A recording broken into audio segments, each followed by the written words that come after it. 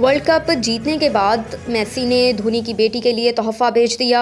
Argentine के star footballer Lionel Messi ने FIFA World Cup 2022 के फाइनल में फ्रांस को शिकस्त देकर वर्ल्ड कप जीतने का ख्वाब पूरा कर लिया। मेसी मैदान में तो खेलकर एंजॉय करते ही हैं। वहीं वो फ़ील्ड से बाहर अपने मुदाहों की ख्वाहिशात का भी खास ख्याल रखते हैं और उन्हें पूरा भी कर देते हैं।